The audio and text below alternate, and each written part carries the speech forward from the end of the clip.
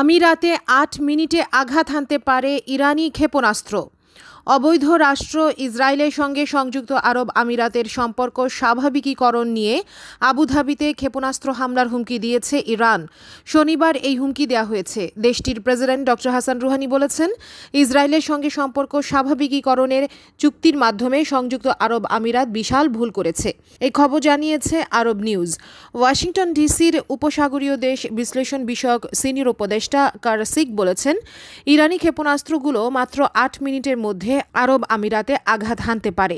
তারা স্পর্শকাতর অবকাঠামো লক্ষ্যবস্তুতে পরিণত করতে পারে অথবা তারা শুধুমাত্র মনস্তাত্ত্বিক যুদ্ধের অংশ হিসেবে মরুভূমিকে লক্ষ্যবস্তু করতে পারে।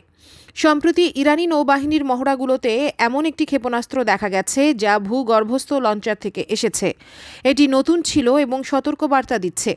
এরপরও দুবাই ও অন্যান্য শহরগুলো এখনও নিরাপদ অঞ্চল হিসেবে বিবেচিত হয়। এদিকে প্রথম পাতায় করা মন্তব্যে ইরানের কট্টরপন্থী দৈনিক কাইহান জানায়, ফিলিস্তিনি জনগণের সঙ্গে সংযুক্ত আরব আমিরাতের মারাত্মক বিশ্বাসঘাতকতা করেছে।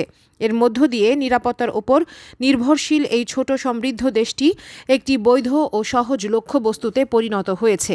বলা হচ্ছে, এই পত্রিকাটি প্রধান সম্পাদককে দেশটি প্রধান নেতা আয়তুল্লাহ আলী খামিনি নিয়োগ দিয়েছেন। নিরাপত্তা বিশ্লেষক কারাসিক আরব নিউজকে বলেন, ইরান ইতিমধ্যে ইরাক ও ইয়েমেনে তার ছায়া বাহিনীর মাধ্যমে ক্ষেপণাস্ত্রগুলো সৌদি আরবের বেসামরিক নাগরিকদের লক্ষ্যবস্তুতে পরিণত করেছে। নতুন হুমকি গুরুত্বের সঙ্গে দেখা উচিত বলেও তিনি মন্তব্য করেন। মার্কিন প্রেসিডেন্ট ট্রাম্পের মধ্যস্থতায় ইসরায়েল আমিরাতের মধ্যে চুক্তি অনুষ্ঠিত হয়।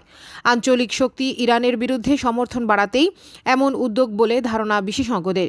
এদিন টেলিভিশনে দেয়া বক্তৃতায় এই অঞ্চলে শক্ত অবস্থান নিয়ে ইসরায়েলকে চেপে বসতে সুযোগ দেওয়ার বিরুদ্ধে সংযুক্ত আরব আমিরাতকে সতর্ক করেন রুহানি। তিনি বলেন, আমিরাত সতর্ক হওয়া ভালো। ইতিমধ্যে তারা বিশাল ভুল করেছে। বিশ্বাসঘাতকতাপূর্ণ কাজ করেছে। আমার প্রত্যাশা, তারা বুঝতে পারবেন এবং ভুল পথ পরিত্যাগ করবেন। রুহানি বলেন, নভেম্বরের মার্কিন প্রেসিডেন্ট নির্বাচনে ট্রাম্পের আরেক দফা বিজয় নিশ্চিত করতে এই চুক্তি করা হয়েছে। যে কারণে ওয়াশিংটন থেকে এই চুক্তির কথা ঘোষণা করা হয়। এখন কেন ঘোষণাটি এসেছে প্রশ্ন রেখে ইরানি প্রেসিডেন্ট বলেন, যদি এটি কোনো ভুল চুক্তি না হতো, তাহলে তৃতীয় আরেকটি দেশে বসে কেন ঘোষণাটি দেওয়া হয়েছে? আমেরিকায় একজন যেন নির্বাচনে জয়ী হতে পারে, তা নিশ্চিত করতে আমিরাত তাদের দেশের লোকজন, মুসলমান ও আরব বিশ্বের সঙ্গে বিশ্বাসঘাতকতা করেছে। অন্যদিকে ইরান ইস্যুতে যুক্তরাষ্ট্রের দুর্বলতা স্পষ্ট, বললেন সিনেটর মার্ফি। মার্কিন যুক্তরাষ্ট্রের সিনেটর ক্রিস মার্ফি বলেছেন, জাতিসংঘ নিরাপত্তা পরিষদে ইরান বিরোধী মার্কিন প্রস্তাব পাশ না হবার মানে তেহরানের মোকাবেলায় ওয়াশিংটনের দুর্বলতা প্রকাশ। কানেকটিকাট অঙ্গরাজ্য থেকে নির্বাচিত ডেমোক্রেটিক এই সিনেটর এক টুইটার বার্তায় এই মন্তব্য করেন। টুইটে তিনি লিখেছেন, নিরাপত্তা পরিষদে ইরান বিরোধী প্রস্তাব পাশ না হবার ঘটনা যুক্তরাষ্ট্রের জন্য শুধু পরাজয়ই ছিল না, সেই সঙ্গে কেলেঙ্কারিও বয়ে এনেছে। সিনেটর মার্ফি বলেন, এই ঘটনা আরেকবার প্রমাণ করেছে যে যুক্তরাষ্ট্র কতখানি দুর্বল হয়ে পড়েছে। কোভিডের কারণে অনলাইনে জাতিসংঘ নিরাপত্তা পরিষদের বৈঠক অনুষ্ঠিত হয়। জাতিসংঘ নিরাপত্তা পরিষদে যুক্তরাষ্ট্রের পক্ষ থেকে ইরানের ওপর জাতিসংঘের আরোপিত অস্ত্র নিষেধাজ্ঞা নবায়নের জন্য ওই প্রস্তাব প্রত্যাখ্যান হয়ে যায়। ডোমিনিকান রিপাবলিক ছাড়া আর কোনো দেশ প্রস্তাবটির পক্ষে ভোট না দেয়ায় সেটি নাকচ হয়ে গেছে।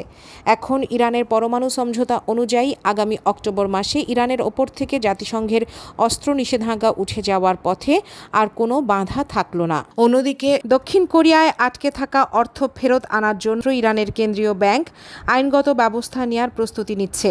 মার্কিন অবৈধ নিষেধাজ্ঞার চাপে সিউল ইরানের পাওনা অর্থ দিতে রাজি না হওয়ায় তেহরান এই ব্যবস্থা নিতে যাচ্ছে। একটি সূত্রের বরাত দিয়ে ইরানের আধা সরকারি বার্তা সংস্থা ইলনা বলেছে, ইরানের কেন্দ্রীয় ব্যাংক এরই মধ্যে দক্ষিণ কোরিয়ার দুটি ব্যাংকের বিরুদ্ধে আইনগত ব্যবস্থা নেওয়ার আনুষ্ঠানিক প্রক্রিয়া শুরু করেছে। কোরিয়ার ওই দুই ব্যাংকে ইরানের সাড়ে আটশো কোটি ডলার আটকে রয়েছে। মার্কিন চাপের কাছে নথি স্বীকার করে কোরিয়ার ব্যাংক দুটি ইরানকে পাওনা অর্থ দিচ্ছে না। ইলনা বলছে, সর্বশেষ ব্যবস্থা হিসেবে ইরান দক্ষিণ কোরিয়ার বিরুদ্ধে এই পদক্ষেপ নিচ্ছে। তবে কেন্দ্রীয় ব্যাংকের এই আইনি পদক্ষেপ কার্যকর হতে আরও কয়েক মাস সময় লেগে যাবে। ইরান ও দক্ষিণ কোরিয়ার মধ্যকার বাণিজ্যের সঙ্গে সংশ্লিষ্ট ব্যবসায়ী তহিদ তানহাই বলেন, আমেরিকার নিষেধাজ্ঞাকে সহযোগিতা করার কারণে তেহরান সিউল সম্পর্ক অনেকটা জিরো পর্যায়ে নেমে গেছে। তিনি বলেন এই অবস্থায় এটাই স্বাভাবিক ও যৌক্তিক যে আমরা আইনগত ব্যবস্থা নেব। অন্যদিকে, তুরস্ক, রাশিয়া বিমান যোগাযোগ চালু, পঞ্চাশ লাখ রুশ পর্যটক যাবেন তুরস্কে। প্রাণঘাতী করোনা ভাইরাসের কারণে রাশিয়ার সঙ্গে তুরস্কের বিমান যোগাযোগ পাঁচ মাস বন্ধ থাকার পর চালু হওয়ার প্রথম দিনেই তেইশ হাজারেরও বেশি রুশ পর্যটক দেশটির আনাতালিয়াকেই ভ্রমণের জন্য বেছে নিলেন। অ্যাসোসিয়েশন অব রাশিয়ান ট্যুর অপারেটার্সের চেয়ারপারসন মায়া লোমিডস বলেছেন, এবার কম করে হলেও পঞ্চাশ লাখ রুশ পর্যটক তুরস্কে যাচ্ছেন। মস্কোতে এক সাংবাদিক সম্মেলনে তিনি বলেন, তুরস্ক হচ্ছে তাদের প্রথম পছন্দ। গত সপ্তাহের সোমবার একদিনে আশিটি ফ্লাইটে করে এরা গ্রীষ্মকালীন ছুটি কাটাতে আসেন তুরস্কের আনাতালিয়াতে। তুরস্কের সঙ্গে অনেক দেশের ফ্লাইট এখনও কোভিডের কারণে বন্ধ রয়েছে, তাই রুশ নাগরিকরা ইস্তাম্বুলকে ট্রানজিট রুট হিসেবেও বেছে নিচ্ছে। গত বছর সত্তর লাখ রুশ নাগরিক তুরস্ক ভ্রমণ করেন, তাদের পছন্দের শীর্ষে ছিল আনাতলিয়া। আনাতলিয়া শহরে অন্তত পঞ্চাশ লাখ পর্যটক গত বছর ভ্রমণ করেন, যা রাশিয়ার বিদেশগামী পর্যটকদের পঁয়ত্রিশ শতাংশ। এবার এই সংখ্যা কম করে হলেও চল্লিশ লাখ ছাড়িয়ে যাবে। যাবে তুরস্কের জাতীয় এয়ারলাইন্স খুবই কম খরচে রাশিয়া থেকে তুরস্কের আনাতালিয়া, দালামান ও বড্রামে ভ্রমণের সুযোগ দেয়। Union of Mediterranean touristic hoteliers and অপারেটার্সের প্রধান এরকান ইয়াগচি বলেন, কোভিডের কারণে রুশ পর্যটক আসতে পারেনি বলে তুরস্কের অর্থনীতিতে তা এক ক্ষতির কারণ হয়ে দাঁড়ায় স্বাভাবিকভাবেই। নিরাপদ ভ্রমণের জন্য রুশ পর্যটকরা তুরস্ককে বেছে নেয়। ফ্লাইট হের চালু হওয়ায় আমরা এখন আশাবাদী। রুশরা ভ্রমণ পছন্দ করে। আনাতালিয়ার প্রকৃতি ও সংস্কৃতি তাদের খুবই পছন্দ। সৈকত, সমুদ্র ভ্রমণ ও সাংস্কৃতিক ঐতিহ্যের নিদর্শনে তারা ঘুরে ফিরে দেখেন। রুশ পর্যটকরা অনবরত তুরস্কে হোটেল বুকিং দিয়ে যাচ্ছেন। এদিকে তুরস্কে পর্যটকদের ভ্রমণ যাতে নিরাপদ হয়, সেজন্য কোভিড পরিস্থিতি অনুযায়ী সব ধরনের ব্যবস্থা নেওয়া হয়েছে। অন্যদিকে লেবাননের নতুন সরকার নিয়ে হিজবুল্লার রূপরেখা। গত সপ্তাহে বৈরুতের ভয়াবহ বিস্ফোরণ লেবাননকে এক নতুন সংকট ও রাজনৈতিক বাস্তবতার সামনে দাঁড় করিয়ে দিয়েছে। বিস্ফোরণের মাত্র এক সপ্তাহের মধ্যে নিজেদের ব্যর্থতা স্বীকার করে পদত্যাগ করতে বাধ্য হয়েছে প্রধানমন্ত্রী হাসান দিয়াবের সরকার। নতুন সরকার গঠন না হওয়া পর্যন্ত এই সরকারি কাজ চালিয়ে যাবে।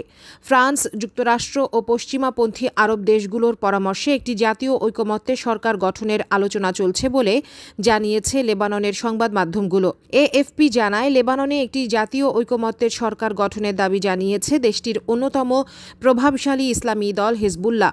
নতুন সরকার গঠন নিয়ে জোর আলোচনার মধ্যে এক বিবৃতিতে এ আহ্বান জানান দলটির প্রধান হাসান নসরুল্লাহ। তিনি বলেন, নিরপেক্ষ সরকারের আইডিয়া শুধু সময় ক্ষেপণ করবে।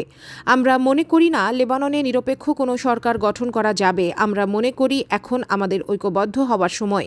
ঐকমত্যের ভিত্তিতে আমাদের সরকার গঠিত হওয়া অসম্ভব নয়। তবে তবে ওই সরকারের রাজনীতিবিদ ও বিশেষজ্ঞরা থাকতে পারেন। চলতি মাসের শুরুর দিকে লেবাননের রাজধানী বৈরুতে ভয়াবহ রাসায়নিক বিস্ফোরণে বৈরুত বন্দর নগরী ও এর আশপাশের পুরো এলাকা ধ্বংসস্তূপে পরিণত হয়েছে। এতে ঘর, বাড়ি হারিয়ে উদ্বাস্ত হয়েছেন অন্তত তিন লাখ অধিবাসী। ফলে আগে থেকে নানা সংকটে ধুঁকতে থাকা লেবানন অর্থনৈতিকভাবে এখন কার্যত পঙ্গু। ফ্রান্স চায় টেকনোক্র্যাট সরকার। লেবাননকে উদ্ধারে একটি টেকনোক্র্যাট সরকার চান ফ্রান্সের প্রেসিডেন্ট ইমানুয়েল ম্যাক্রো। নতুন ধরনের সরকার গঠনে দেশটির রাজনৈতিক নেতাদের বারবার তাগিদ দিচ্ছেন তিনি। শাসন ব্যবস্থায় প্রয়োজনীয় সংস্কার করা, সরকারের প্রতি জনগণের আস্থা ফিরিয়ে আনা এবং দেশ পুনর্গঠনে বিদেশি দাতাগোষ্ঠীগুলোর দেয়া সহায়তার অর্থের সুষ্ঠু ও যথার্থ ব্যবহারের লক্ষ্যে যত তাড়াতাড়ি সম্ভব সরকার গঠন চাচ্ছেন ম্যাক্রো। নতুন এই সরকারের প্রধান হিসেবে সাবেক দুইবারের প্রধানমন্ত্রী সাদ হারিরিকে ফিরিয়ে আনার প্রস্তাব দিয়েছেন তিনি, তবে তার এই প্রস্তাব মানতে অস্বীকৃতি জানিয়েছেন প্রেসিডেন্ট মিশেল আউন ও খ্রিস্টান দলগুলো। ফরাসি কূটনৈতিক সূত্র ও লেবাননের সরকারি সূত্রের বরাত দিয়ে খবর জানিয়েছে রয়টার্স। এই বিস্ফোরণের দুদিন পরই প্রথম কোনো রাষ্ট্রপ্রধান হিসেবে বৈরুত সফর করেন ম্যাক্রো। ফ্রান্সের কূটনৈতিক সূত্রে বরাত দিয়ে রয়টার্স বলেছে, ওই সফরেই লেবাননে পুনর্গঠনে দেশটির নেতাদের নতুন ধরনের সরকার গঠনের ব্যাপারে বার্তা দেন তিনি। বিস্ফোরণের পেছনে সরকারের সীমাহীন দুর্নীতি ও অদক্ষতাকে দায়ী করে নতুন করে বিক্ষোভ ও জনরোষের মধ্যে চলতি সপ্তাহে পদত্যাগ করে লেবানিজ সরকার। তবে নতুন সরকার গঠন না হওয়া পর্যন্ত ওই সরকারই দায়িত্ব পালন করবে। ইতিমধ্যে নতুন সরকার গঠনে আলাপ আলোচনা শুরু হয়েছে। ডিয়ার ভিউয়ার্স আমাদের চ্যানেলের নিউজটি যদি আপনাদের ভালো লেগে থাকে, তবে আমাদের চ্যানেলকে সাবস্ক্রাইব করুন এবং আপনাদের বন্ধুদেরকেও সাবস্ক্রাইব করতে উৎসাহী করুন। নতুন নতুন নিউজ জানার জন্য আমাদের চ্যানেলের সাথেই থাকুন। ধন্যবাদ।